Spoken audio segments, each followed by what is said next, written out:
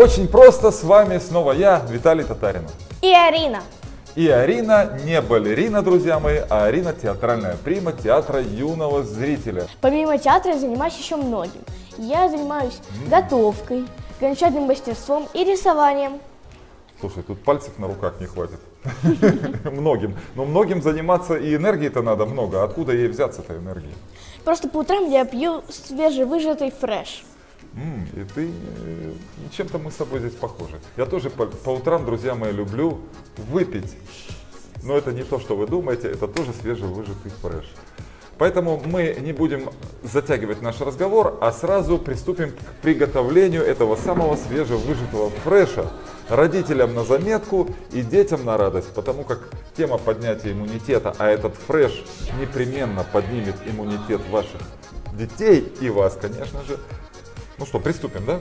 Да. Поехали. Ну что, все готово? Друзья мои, приступаем к приготовлению нашего волшебного фреша. Яблоко, Яблочко на тарелочке. грейпфрут, Грейпфрутик. Отлично, какой он красивый сок дает.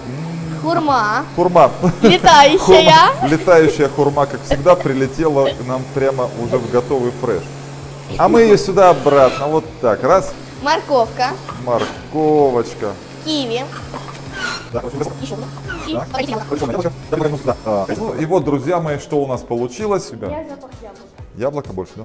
А у меня корица, яблоко и морковки. Ну что, на здоровье, друзья мои. Вот такие фреши вы можете приготовить для себя и своих детей каждое утро. Причем это не только напиток, но это и еда, том числе, потому что фреш это и есть еда, насыщенная, а еще сдобренная пророщенной пшеницей, она даст всю, увеличит мощь всей энергии в сотни миллиардов раз, и вы будете, и вы и ваши дети станете такими же прекрасными, как и мы с красивыми, энергичными и бодрыми. Ура! На здоровье, пробуем. М, Вкус божественный, божественный напиток. М. Так, ну что, сока попили, чувствуем себя бодро, энергично, превосходно, великолепно, потрясающе. Да, только хурма много язык вяжет. Хурма вяжет язык. Тут вспоминается история одна. Людоеда спросили, «Поч- за что вы не любите бабушек? Знаешь, что он ответил? Что? Они вяжут во рту. Кстати, я знаю, что вы путешествовали по Азии. Расскажите что-нибудь. Есть такая тема. Ну, приходится иногда путешествовать, гастролировать по разным частям нашего света, и Азия не исключение. Значит, что приходит на ум поездка во Вьетнам. Она, признаюсь, превзошла все ожидания. Превзошли ожидания сами вьетнамцы. Веселого нрава люди, радушные, гостеприимные. И что интересно, что перемещение между городами во Вьетнаме происходит в основном в автобусах, причем пассажиры ездят лежа. Представляешь, то есть в специальных капсулах. Вьетнамцев возят в специальных капсулах полулежачем состоянии. Ме- Между, вот так произво- происходят междугородные поездки. Но я, естественно, ни в какую капсулу не помещусь благодаря моим гастрономическим размерам, поэтому мне там предоставили место в специальном отсеке для великанов, скажем так. Я вспомнила одну историю. Да? В лагере, э, Театральную историю. ну да, Почти, около театральной. почти. Летом 2021 года я поехала в лагерь. Мгм. И в этом лагере у нас забирали на ночь телефон. Нам это, конечно, не нравилось. С чего бы это? Ну, мы хотели посидеть в них. А, Ну, скучно же ночью. У нас их забирали в коробочку и ложили возле вожатской. У нас комната была первая, возле вожатской прямо, ну, прям впритык. Мгм. Мы решили их проучить, и мы Кого поставили... проучить? Вожатых. Обожатых проучить. Мы решили всех их проучить и поставили будильники на 6.01, на 6.02, на 6.03 и так до 7 утра. Мы поставили, положили, все, отлично. В 6 утра начинается первый будильник, встают вожатые, выключают, опять легли спать. И снова уже- будильник. Да, снова начинается будильник, тоже выходят, выключают и ложатся спать.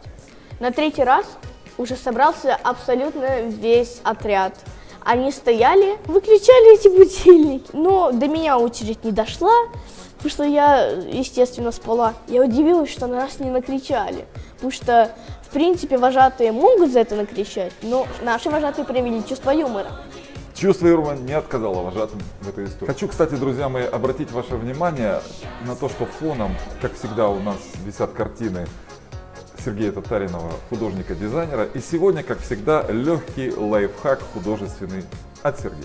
Всем привет! Меня зовут Сергей Татаринов, и сегодня я вам покажу и расскажу, как волшебным образом превратить любой ненужный предмет в предмет декора, который будет украшать вашу комнату, ваш офис, ваше рабочее место, что угодно.